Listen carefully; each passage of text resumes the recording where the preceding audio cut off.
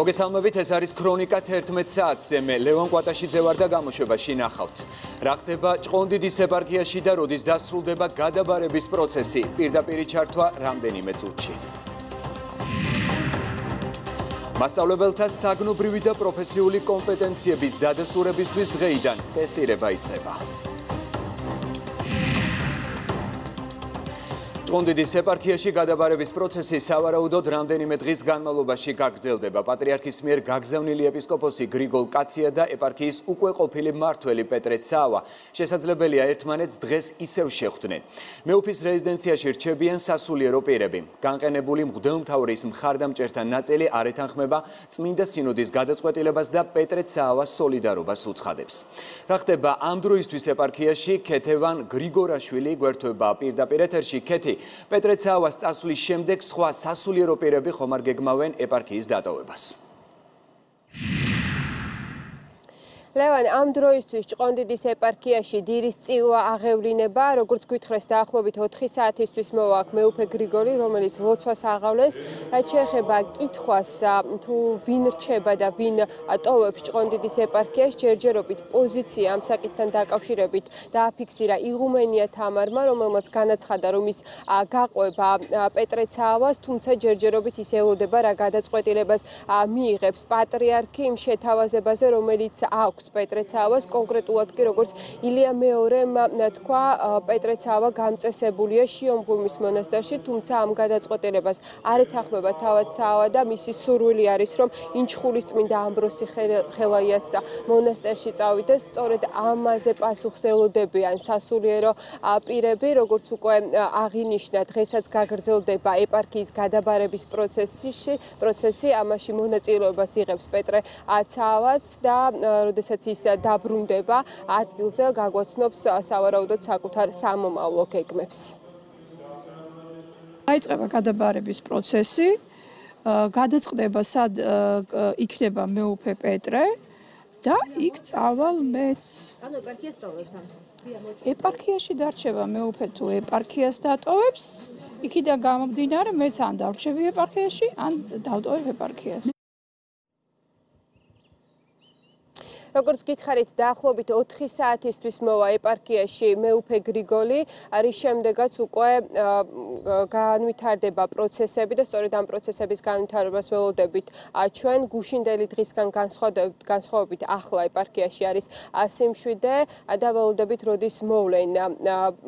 პეტრე ცავა და მეუფე გრიგოლი, რის შემდეგაც გაგრძელდება ეპარქიის გადაბარების პროცესი. ქეთევან გრიგორაშვილი საუბრობდა ქრონიკის ეთერში. ჭონდიდის ეპარქიის ყოფილი მართველი პატრიარქის ბრძანებას არ ემორჩილება და შიომღვიმის მონასტერში წასვლას არაპირებს. პეტრეცავა კათოლიკოს პატრიარქს საკუთარ ალტერნატივას თავაზობს. ის ინჩხურის წმინდა ამბროსი ხელაია სახელობის მონასტერის დათმობას ითხოვს. დათანხმდება თუ არა თავად პატრიარქი მის შეთავაზებას უახლოეს დღეებში გაირკვევა.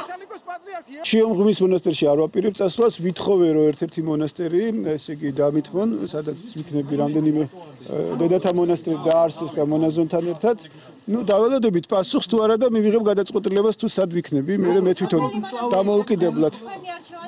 ჩემი არჩევანი არის თხოვნა ინჩხურის წმინდა ამბროსი ხელაია სახელობის მონასტერი იმ შემთხვევაში თუ პატრიარქი ჭყონდიდის ეპარქიის ყოფილი მართველი შეთავაზებას არ დათანხმდება, პეტრე ცაავამ შესაძლებელია სასულიეროდან საერო ცხოვრებაში გადაინაცვლოს. თუმცა, მანამდე ამ საკითხზე სინოდის წევრებმაც უნდა იმსჯელონ. თუ პეტრე ცაავასა და პატრიარქს შორის შეთანხმება ვერ შედგა, არ არის გამორიცხული სინოდს რადიკალური გადაწყვეტილების მიღება მოუწიოს.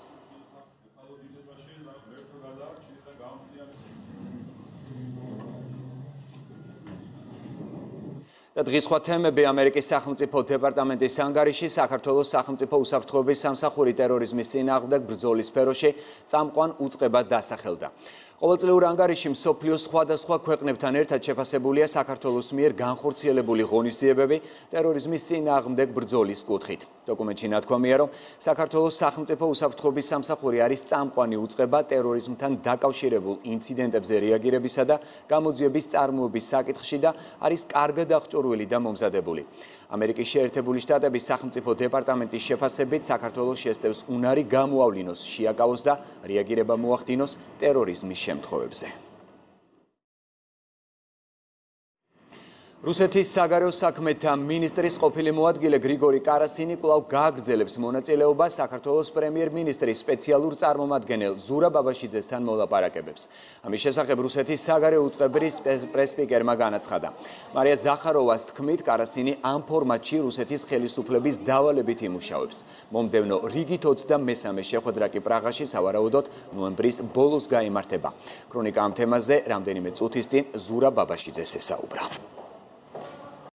რუსეთის საგარეო უწყებაში გაკეთდა განცხადება იმის შესახებ, რომ გრიგორი კარასინს, რომელიც ამჟამად არის ფედერაციის საბჭოს წევრი, რუსეთის ხელმძღვანელობამ დაავალა მუშაობის გაგრძელება პრაღის ფორმატში. დიალოგს ხაზგასმით ხარს უჭერენ ჩვენი დასავლელი პარტნიორები, ჩვენ მათთან უთამ გვაქვს ჯიდრო კონსულტაციები ამ საკითხზე. და მათი რჩევა, მათი რეკომენდაცია, რომ დიალოგი უნდა გაგრძელდეს აუცილებლად. მათი მხრიდან დელეგაციაში კიდევ წარმოდგენილი იქნება რუსეთის ტრანსპორტის სამინისტროს თანამშრომელი და ასევე საგარეო უწყების თანამშრომელი, ასევე ჩვენს დელეგაციაში იქნება ეკონომიკის სამინისტროს ტრანსპორტის დეპარტამენტის ხელმძღვანელი, საგარეო საქმეთა სამინისტროს წარმომადგენელი. სხვა პირთა მონაწილეობა არ არის გათვალისწინებული. მასწავლებელთა საგნობრივი და პროფესიული კომპეტენციების დადასტურებისთვის დღეიდან ტესტირება იწყება. 175 საჯარო სკოლაში პედაგოგთა რეგისტრაციის პროცესს შეფასებისა და გამოცდების ეროვნული ცენტრის დირექტორი სოფო გორგოძე გაეცნო. მაკა აბულაძე საუბრობს ამ თემით პირდაპირ ეთერში. მაკა უფრო ვცლად რომ მოგვიყვე, რატომ არის მნიშვნელოვანი ტესტირება პედაგოგებისთვის. რეგისტრაციის პროცესი დასრულებულია და ამ გამოცდაზე მოსულ მასწავლებლებს მოუწევთ დაადასტურონ საკუთარი კომპეტენცია კონკრეტული საგნის მიმართულებით.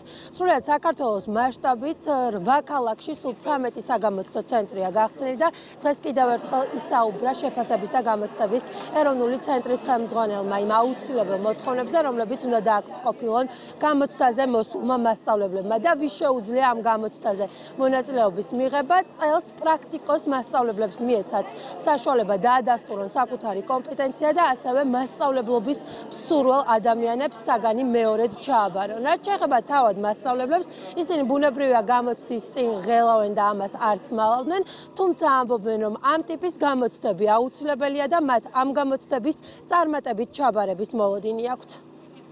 ამ ჯერზე როგორც პრაქტიკოს მასწავლებლებს ასევე მასწავლებლობის მსურველებს შეეძლოთ კომპეტენციის დადასტურება. მსურველების რაოდენობა 26000-დან დაახლოებით არის 11000, ასე რომ საკმაოდ დიდია იმ ადამიანების რაოდენობა, ვისაც სურს მასწავლებლის პროფესიაში შესვლა. იმედი მაქვს, წარმატებით გაარკვევენ ამ გამოწვევას მასწავლებლები თავს. მზადვართ მივიღოთ ეს გამოწვევა პედაგოგებმა, პირადად მე მაგალითად რა ვიცი, არ არ უყურებ რაღაცა პრობლემის სახით და დადებითი ველოდინით მოდივარ, მარტო უნარები მაქვს ჩასაბარებელი საგანი ჩაბარებული მაქვს. ტესტირება დღეს დაიწყო და 8 ნოემბერს დასრულდება. სულ 26000-ზე მეტი აპლიკანტია დარეგისტრირებული, საიდანაც 15000-ზე მეტი არის პრაქტიკოსი მასწავლებელი. 5 საათის განმავლობაში გაგრძელდება დღეს გამოცდა 175 საჯარო სკოლაში და საბოლოო შედეგებს გამოცდების და შეფასების ეროვნული ცენტრი დეკემბერში გამოაცხადებს. ეს მაკა აბულაძე იყო. საქართველოში დღეს ცივი და ნალექიანი ამინდი შენარჩუნდება. ნავარაუდევია წვიმა, მაღამთაში კი თოვლი. გარემოს ეროვნული სააგენტოს ინფორმაციით იქროლებს დასავლეთის მიმართულების ძლიერი ქარი, ზღვაზე შესაძლებელია 4-დან 5 ბალამდე შტორმი.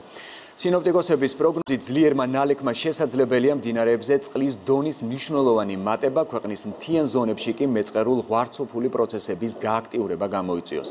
კობი გუდაურის მონაკვეთზე კი ძლიერი თოვის და შეზღუდული ხილვადობის გამო აკრძალულია მოძრაობა. დედოფლის ხაროს მუნიციპალიტეტში მერის წარმომადგენლის შვილი დაჭრეს კობა თარაშვილ ცეცხლსასროლი იარაღიდან ესროლეს. მას დაზიანება ხრისარეში აქვს მიყენებული მისი ჯანმრთელობის მდგომარეობა ამ დროისთვის სტაბილურად მძიმეა. პაციენტი ღუდუშაურის კლინიკაში რეანიმაციულ განყოფილებაში რჩება. წინასწარი ინფორმაციით დაჭრას წინ შელაპარაკება უწყოდა. სამართალდამცველებმა დამნაშავე უკვე დააკავეს, მას 3-დან 6 წლამდე ვადით თავისუფლების აღკვეთა ემუქრება. შინაგან საქმეთა სამინისტროს ინფორმაციით ბრალდებული ჩადენილ დანაშაულს აღიარებს. ქარელში დევნილთა დასახლებაში აფეთქების შედეგად დაშავებული მამაკაცის მდგომარეობა ისევ მძიმეა. დამწრობის ცენტრის ექიმის გუგა ქაშიფაძის ინფორმაციით, პაციენტს დამწვარი აქვს ხეულის 35% და რჩება რეანიმაციულ განყოფილებაში.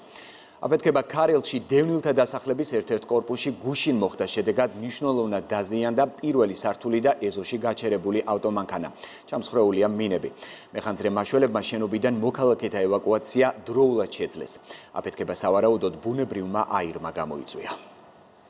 დაფეთქების შედეგად მიიღო მას სერიოზული დაზიანებები. დაახლოებით 35% მეორე მესამე ხარისხი ამას ემატება დამწრობითი შოკი და სასუნთქიზების დაზიანება. გამომდინარე ტრამვის მექანიზმიდან და დაზიანების სიბრძნისგან საკმაოდ სერიოზული დიაგნოზი აღენიშნება დამწრობა გვაქვს ნელი თავი გვაქვს დამწვარი ორივე ზემოკიდური და ნაწილობრივ გამოკიდურებით ძირითადად წამყვანი არის ხმა მესამე ხარისხის დაზიანება ეგრეთ წოდებულ ოცნების ქალაქში მცხოვრებლებმა მორიგი საპროტესტო აქცია გამართეს. ისინი ხელისუფლებას დაპირებული корпуსის მშენებლობას თხოვენ იმისათვის, რომ საცხოვრებელი ფართით 1000-ზე მეტი ოჯახი დაგმაყოფილდეს. ადგილობრივების თქმით, მშენებლობის დაწყების პროცესი გაჭიანურდა, რის გამოც ეჭვი აქვთ, რომ პრობლემა მოუგვარებელი დარჩება. არ უნდა არა როდის იწება მშენებლობა? რა კატეგორიებს э, შეეხება აქ მცხოვრებ э, ოჯახებს და რამდენი მილიონია გათვალისწინებული. ამ ხალხს აქვს უფლება ეს იცოდეს, მით უმეტეს ხელისუფლებამ თავად დაპირდა ამ ხალხს ამ პრობლემების э, მოგვარების დროს. სანამ ეს კორპუსების მშენებლობა დაიწყება და ვატყობთ რომ ამას დიდი დრო სჭირდება, აქ არ არსებობს არანაირი ინფრასტრუქტურა. იტბორება თითოეულ გაწვიმებაზე და ხალხი გაუსაცმლის პირობებში ცხოვრობს. ჩვენი თხოვნა კონკრეტული სიტყვა, როდის იწყებენ, ვისთვის იწყებენ და რამდენი მილიონია? ნამდვილად 25-53 და ოფისრების ქუჩას ეხება? თუ იმ 580-ში არის სულ მართლა უსახკარო, რომელსაც ბალონიტონიკი ამბობს, მარტო უსახკარო აქ 213 ოჯახი მეტი არა.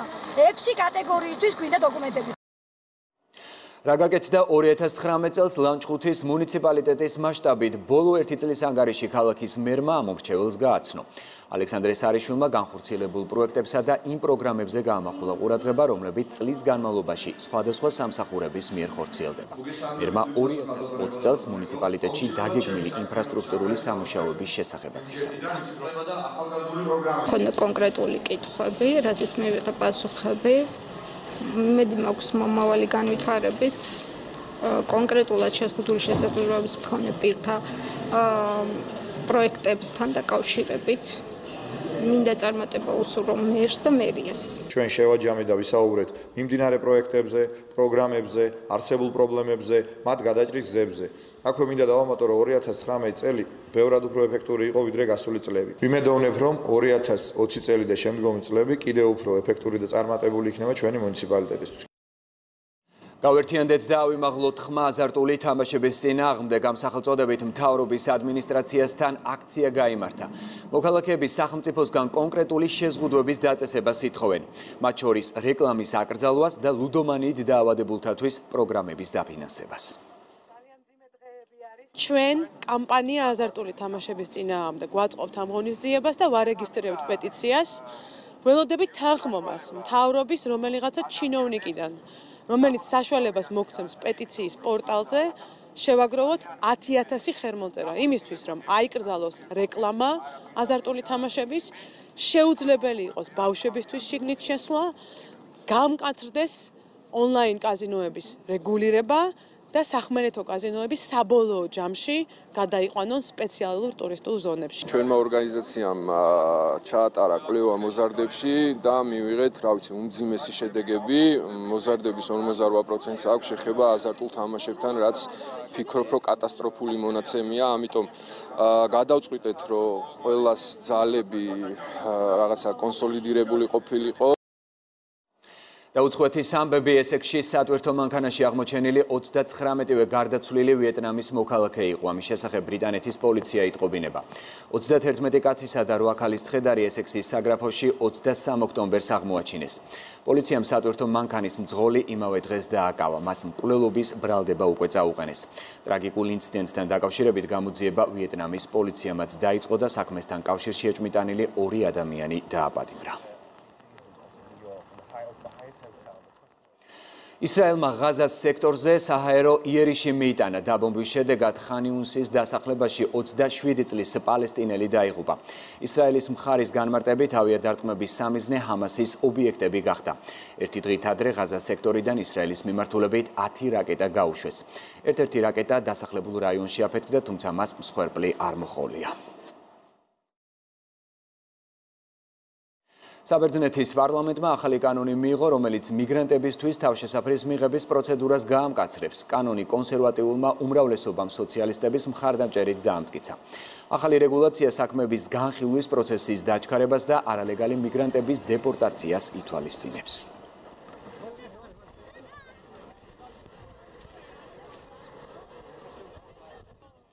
კალიფორნიაში ხანძრის კერების რიცხვი გაიზარდა ამ დროისთვის შტატში სულ ცოტა 13 კერაა დაფიქსირებული. ცეცხლი ტყის მასივს 31 ოქტომბერს გაუჩნდა და 35 კვადრატული კილომეტრის ფართობი გაანადგურა. დამწვარია საცხოვრებელი სახლები და შენობა ნაგებობები, გათიშულია ელექტროენერგიაც. სტიქიის გამო შტატში საგანგებო მდგომარეობაა გამოცხადებული. ინდოეთის დედაქალაქში ჰაერის მკვეთრი დაბინძურების გამო სკოლის მოსწავლეებს 5 მილიონი ნიღაბი დაურიგეს.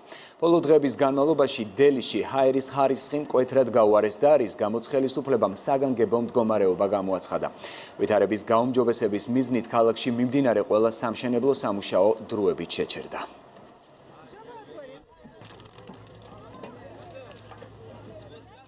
ვინ შეჭამს ყველაზე დიდ ბურგერს 9 წუთში უჩვეულო კონკურს ტაილანდელების ბანგკოკის ერთ-ერთი რესტორნის მეპატრონეს თავაზობს. ბურგერი დაახლოებით 6 კილოგრამს იწონის. ის ვინც კულინარიულ შედევრს 9 წუთში შეჭამს, პრიზის სახით დაახლოებით 331 დოლარს მიიღებს.